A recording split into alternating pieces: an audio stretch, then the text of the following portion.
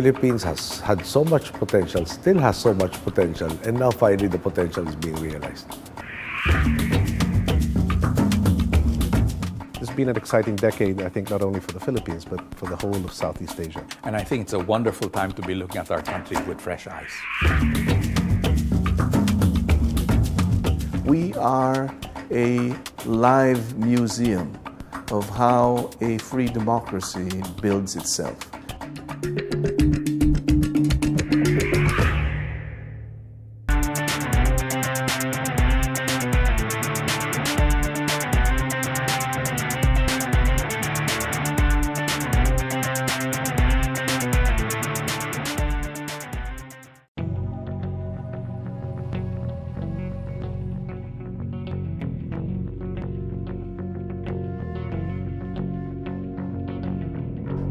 Second largest archipelago, the Republic of the Philippines, is located in Southeast Asia.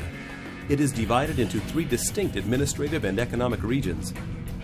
The capital city is Manila. A heightened sense of optimism and change is sweeping the Philippines. Once known as Southeast Asia's economic laggard, the Philippines of today is trying to bring in the promise of clean politics and national prosperity. In 2010, Benigno Aquino won a landslide victory to become the nation's 15th president. He inherited a nation entrenched in poverty and a government plagued by corruption. While he isn't immune to criticism, the Filipino people are giving the president a chance to finally bring change to the republic. I want to leave the world a lot better than how I found it. And I want to see this country transform to such an extent that people who have not visited us in the last two years and in the next four will probably say they can, really can't recognize the country anymore. I inherited a mess. We were called the sick man of Asia. We posted 6.3% uh, growth in GDP for the first quarter, 5.9% in the second quarter, which gives us an average of 6.1% for the first semester, which is above our projections of between 5 to 6% in the midst of the global economic uncertainty. I guess what I'm trying to say, the bottom line is, the Philippines has had so much potential, still has so much potential, and now finally the potential is being realized. Cuts in interest rates, low inflation, and the government's plan to spend more aggressively are renewing investor confidence. Doing business in the Philippines is not without its challenges, but it is now one that is more transparent and open. The fundamentals are very strong. Consumption is there. People are positive. Uh, investments, domestic investments is, is literally overflowing. The other thing that we can really be proud of is that we've stayed the course. President Aquino has sacrificed political capital to do the right thing. This is the kind of leadership that the Philippines needs. It's about implementing the right rules, it's about collecting the right taxes, and people are slowly but surely also changing. People are now saying, no, let's do it right this time around. Despite the negative impact of the global economic crisis on the country's export industry, the Philippines is performing better than its regional neighbors. In 2010, the country's real GDP increased by 7.6%, its highest in more than 30 years. The International Monetary Fund estimates the Philippines' GDP at $216 billion in 2011. Why is that happening and why is that a good thing at this point in time? Number one, you know, we have this consumer-led growth that's quite unique to, to, to us. Number two, um, our government um, is far more serious and far more organized from a macroeconomic point of view uh, at this point in its history. Uh, we have the largest amount of foreign exchange reserves ever in our history, over $70 million. That's unheard of in our country. That gives it a sense of stability and gives the currency a strength that it has not had in the past. At the same time, on the fiscal side, our management of our finances as a country, um, we are in a far more stable state than ever before. Our, I guess our deficit as a percentage of GDP is far lower now than ever before. That gives our government uh, the wherewithal, uh, the tools to be able to pump prime our economy. But it certainly puts us apart to the rest of the world. The Philippine government realizes that simply relying on domestic sources for capital does not improve its liquidity position, prompting a strong push for foreign direct investment into the country. grand reforms are already pursued by the administration to trigger further change through more efficient business processes and a level playing field. For many market players, the good governance thrust has been beneficial. An increase in government spending under the Public Private Partnership Program is likely to stimulate economic growth in 2012. This is a narrow window of, of opportunity for our country where so many good things are happening, and I think it's a wonderful time to be looking at our country with fresh eyes. We now believe that our country is headed towards much more progress than we've seen in, in recent history. We now believe that our country can move forward. We now believe that we can fall in step with the rest of Asia as, as, the, as the area of the world where the greatest growth and prosperity will take place in the coming decades and in the coming century. The Philippines is tackling its political, social, and economic problems head on. The Philippines was one of the richest countries in Asia in the 1950s, second only to Japan, but has never really been able to achieve the growth of the Asian tiger nations. Has the Philippines finally turned a sharp corner? This administration has shown the world that the Filipinos can get things done in the right way. The drive, the push of President Aquino against corruption, I know some people would say it's a nuisance. No, that's not a nuisance. That's the centerpiece. 95, if not 100% of our problems in governance, I mean in the government, has to do with corruption. It's governance, it's, it's transparency, you know. It's not as if there's not enough resources. We've proven that. We haven't raised taxes, and yet we have been able to provide a lot more services because we were able to save 30% off the cuff. I mean, right there and there, same project, same configuration, but we were able to do it 30% cheaper. That translates to efficiency, that translates to productivity, and that translates to more resources that can be applied. The world economy or the financial system recognizes that uh, we, have, we are deciding on a more logical basis, more transparent, more consistent. We've gotten therefore, um, because of um, the managing of the deficit relative to GDP, we have gotten a lot of upgrades from three of them, well actually four, three of the majors and one also major credit rating agencies, which brings down our cost of borrowing. No? So we, we have recovered a lot that was lost due to leakage. We still have a deficit, but the deficit gets financed at a lower interest rate. And we are in a situation where we are able to swap old debt that was uh, very expensive and close to maturation with lesser interest payments and longer maturation.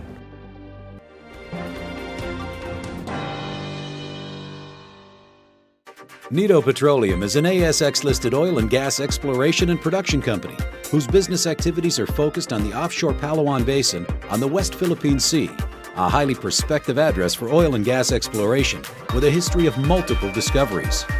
Nido's strengths lie in the quality of its assets, the expertise of its people, and their local knowledge of Philippine geology and the company's understanding of the Philippines business environment. Nido Petroleum Limited, the energy to deliver. PR Gas, innovator of the first LPG convenience store in the Philippines, provides LPG products to hundreds of thousands of individuals and businesses across Luzon. PR Gas, the Philippines' premier source for LPG.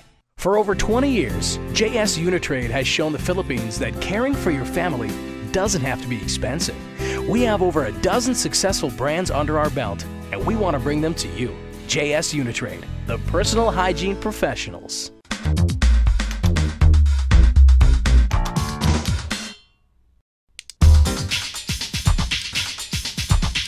Keeping the telecom industry apace with tomorrow's technology today.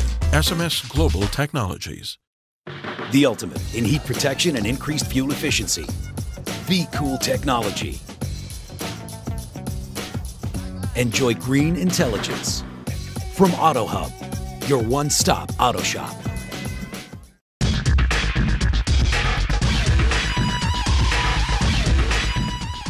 APE, AutoHub's push for entrepreneurship, moving the Filipino forward. APE by Piaggio. Customization beyond imagination.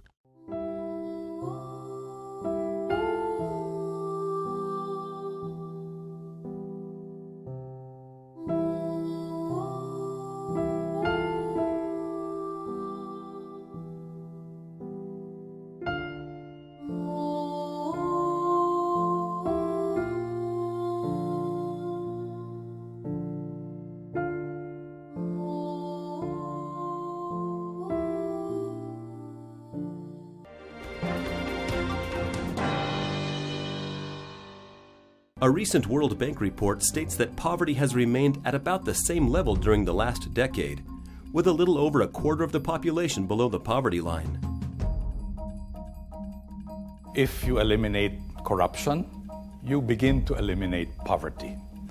I think what that means is given very limited resources of government, you have to spend wisely. You have to make sure that every peso you spend goes to the projects that they're meant to be spent for. You reduce the cost of, you know, the cost of corruption. And that's what this administration has begun to, to do. Many corporations in the country are now implementing social programs that benefit the poorest of the poor. The Philippines is one of the premier centers in Asia for research, training, and advocacy in corporate governance matters. There is a very great sense in our country now that the private sector has to do its part in uplifting the poor and, and giving opportunities to the poor. Because, first of all, from a pragmatic point of view, uh, I guess we have to admit that uplifting the poor and eliminating poverty will, at the end of the day, improve our ability to market our products. they are our customers. But more importantly, I think we are one country. We have one future. We have to work together to towards towards a better life for all, all of our people. And that consciousness is very deeply embedded in, in our private sector as well. With approximately 95 million people, the Philippines is the 12th largest country in terms of population and the local commission on population is expecting this to increase to 101.2 million by 2014. Domestically, the government is investing in education programs to raise the quality of its human capital. We believe that the Filipino people are our greatest national resource. Uh, this is proven time and again, even during the dark ages when uh, our countrymen would be would go elsewhere, given the right environment, really, really shine in various professions. How do we take it to the extreme? then if the national, the chief national asset you know, really are the people, then it behooves us to invest in the people. As a community of people, we are generally uh, very hospitable, we're English speaking, and um, we're comfortable with different types of nationalities. But more than anything, I guess our resiliency, our positive nature. Uh, people say we're the happiest people in the world. Uh, even under the most adverse uh, circumstances, even now, you know, we have some very difficult situations in the city of Manila with the kind of floods that we have. Uh, you don't see people complaining. People adjust. They help each other out. There's a bayanihan spirit that's always there. Is our people. That's really our strongest quality. The Philippines has a big talent pool, with 11% working abroad, making overseas remittances an integral contributor to the nation's GDP. Filipinos fill a global demand for added value positions that involve technical competency and English proficiency. Overseas Filipino workers, uh, we exported a lot because of our proficiency in English and the good skill sets and work attitude.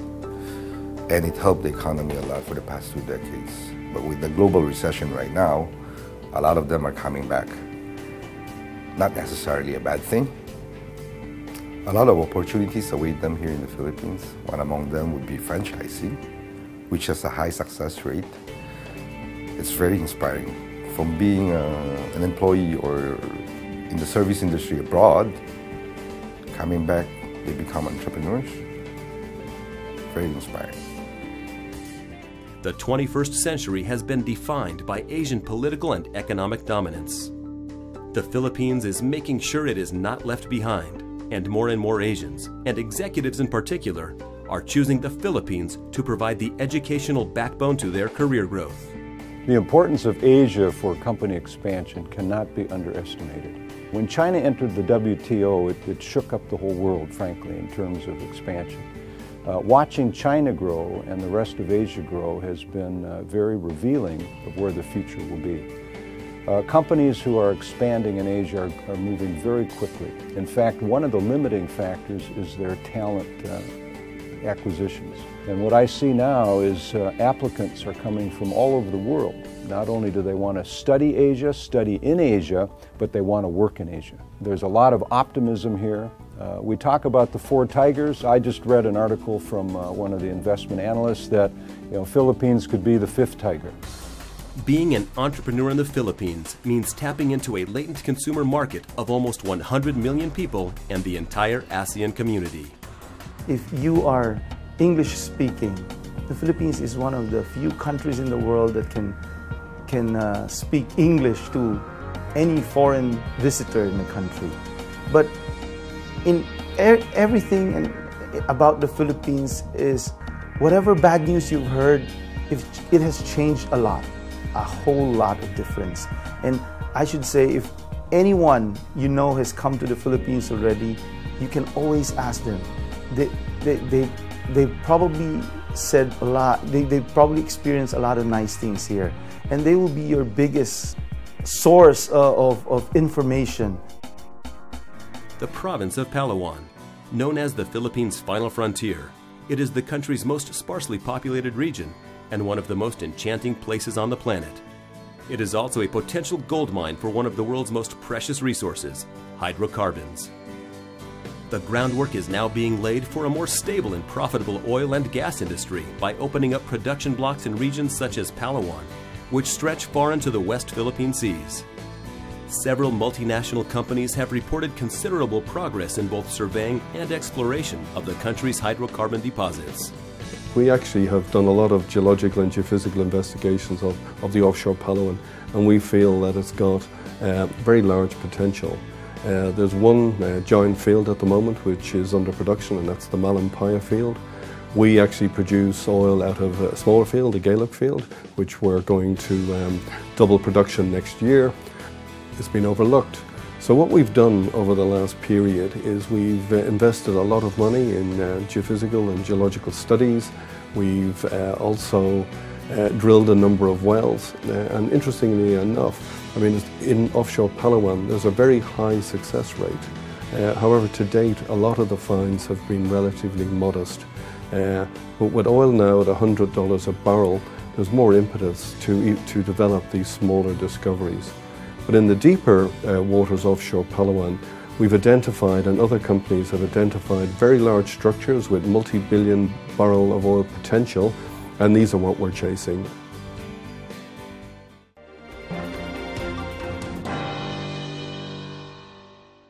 Traders Hotel Manila offers renowned Shangri-La amenities and hospitality in a more relaxed atmosphere. Ideally located on Roxas Boulevard near the city's premier business, shopping, and entertainment attractions. Traders Hotel Manila has 312 rooms and suites and an array of special services. Come enjoy the million dollar sunset view of Manila Bay from Trader Hotel's 19th floor lounge. The Traders Hotel Manila, the smart traveler's choice with deluxe service.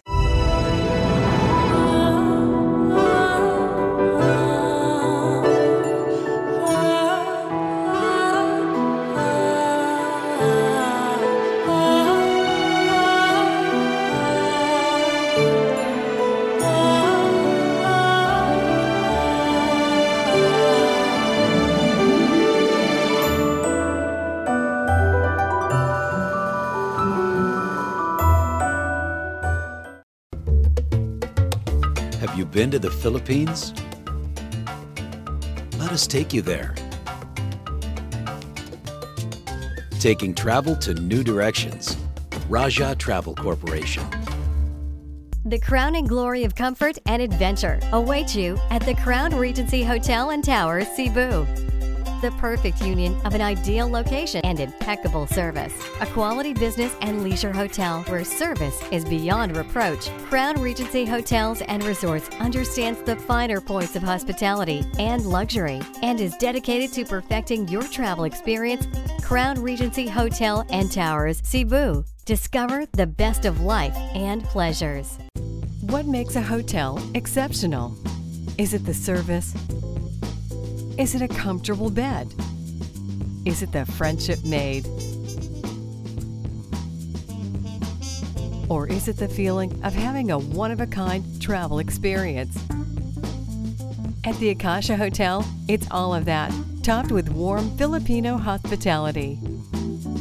The Akasha Hotel Manila, exceptionally Filipino.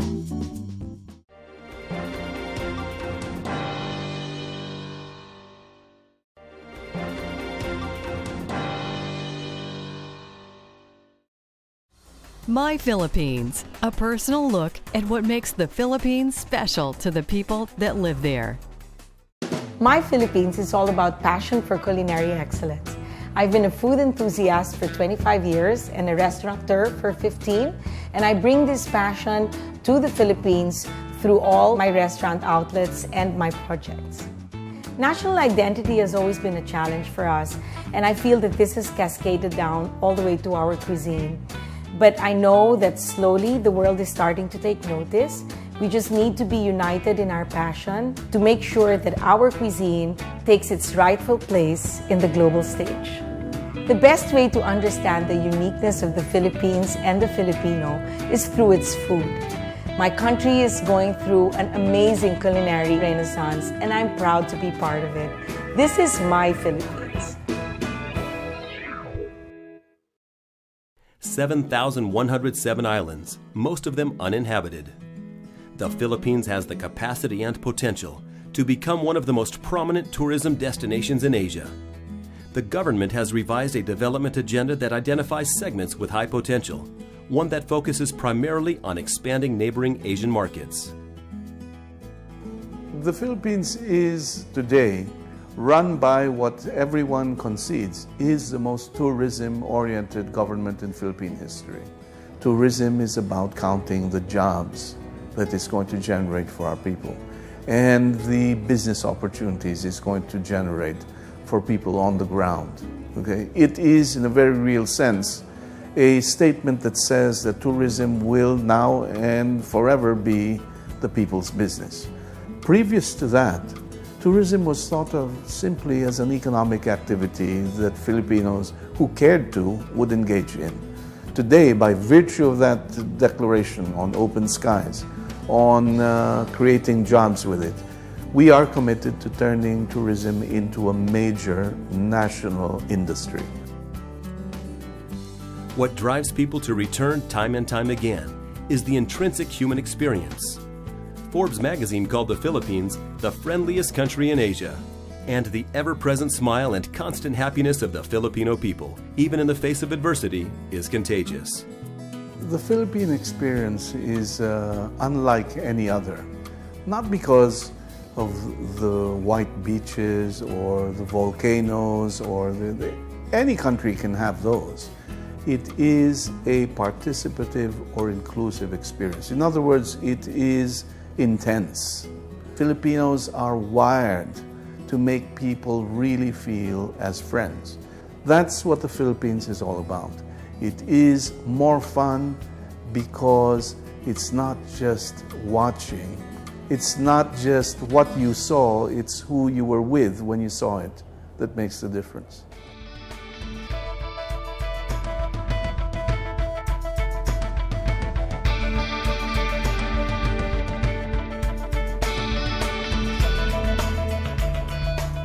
And then finally, of course, you have something which is very frequently overlooked, but people travel for.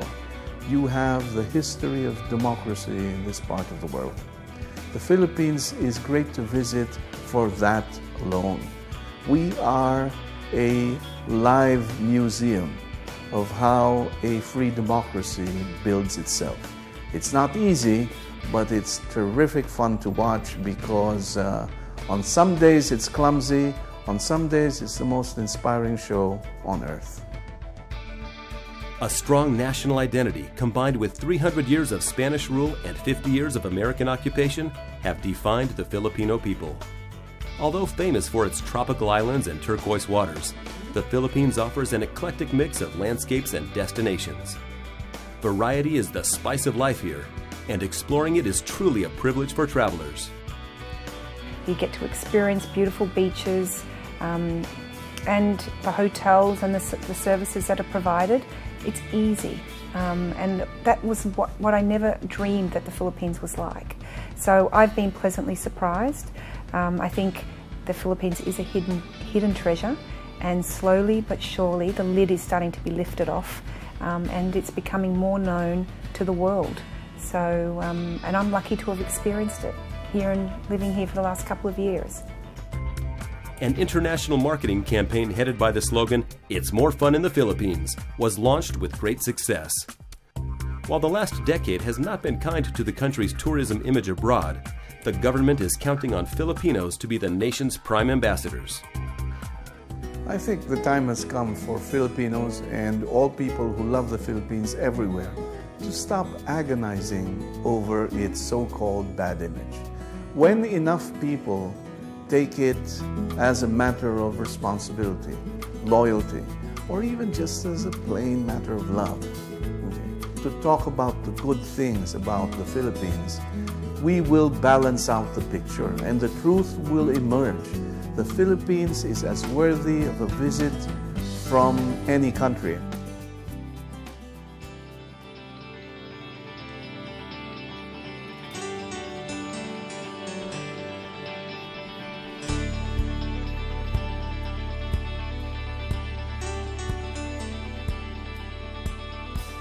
The Philippines is experiencing a political and economic resurgence that, when followed through, will turn the nation into the global player that it aims to be. It is not just learning from the mistakes of the past, but also driving the present with good governance and business prudence. The world watches as the Philippines moves forward. Nothing is impossible. So long as the people are united, focused, we will get there.